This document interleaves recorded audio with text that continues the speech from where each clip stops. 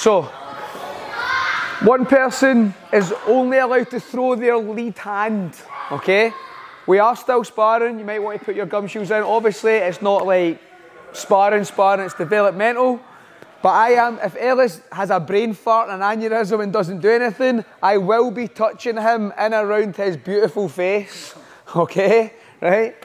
At the same time, I'm not trying to punch a hole through his beautiful face, right?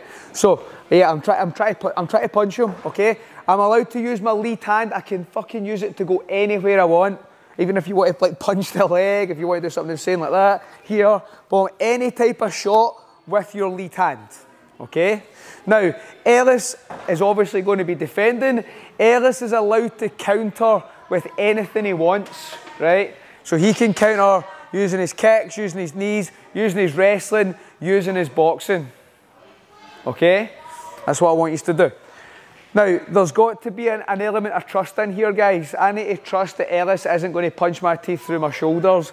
Otherwise, I am never going to open up here and give him looks that he's going to need, okay? And at the same time, as Ellis is going to struggle to counter if I'm just trying to fucking blast him.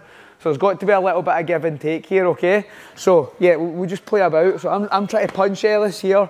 I'm trying to get my feints going. I'm kind of trying to move. Maybe I'll step back, try to draw him in. Maybe I'll come forward on him. There. And I'm just trying to find those shots. Just okay. imagine normal sparring, but these are your restrictions. One guy is only allowed to use his lead hand to go anywhere.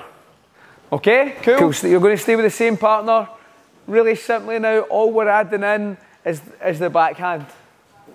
Okay, so again, right, we're just using that lead hand, boom, and now we can put in, boom, the cross, uh, the backhand, we can, whatever you want to do with that backhand, you can do it. Again, obviously, that generally carries a little bit more power. It's coming from all the way back here.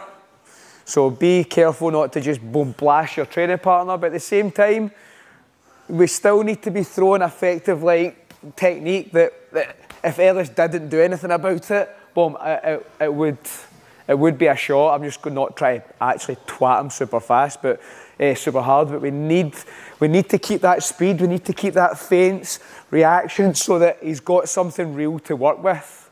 Okay.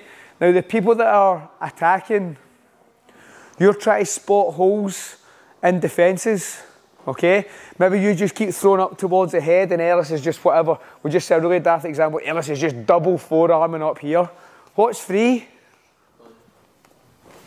Boom, go to the body, okay? Or vice versa.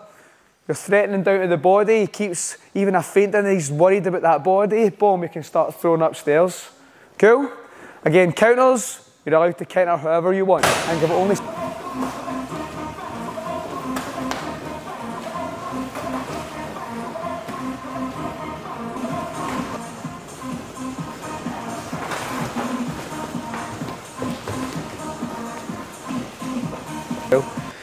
Just uh, kind of some things for you to consider. It's more, more for the guy on the back foot, really.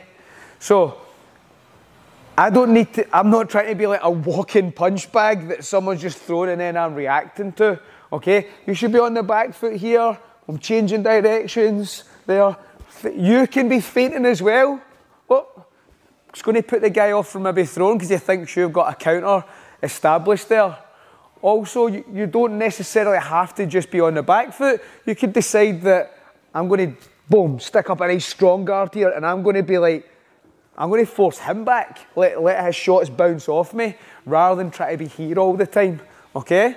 So just a couple of wee things for you guys to think about, okay? So, try not to be a punch bag. You can be feinting and you can try and put him on the back foot rather than just walking backwards like try to defend yourself. Cool?